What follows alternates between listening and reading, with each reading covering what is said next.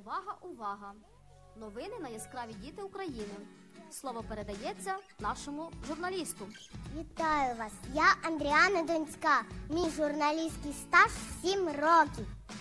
Сьогодні хочу представити вам мій радіжний масив Дніпровського району міста Києва.